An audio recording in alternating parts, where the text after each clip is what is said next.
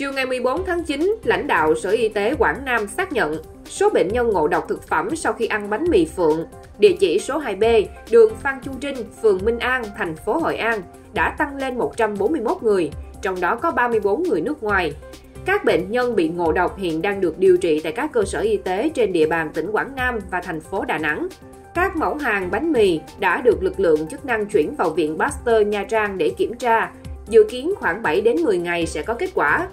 Kết quả kiểm tra ban đầu ở tiệm bánh mì này, khu vực sơ chế chưa đảm bảo vệ sinh, chưa phân biệt giữa khu vực bảo quản nguyên liệu thực phẩm, khu vực sơ chế chế biến và khu vực khác.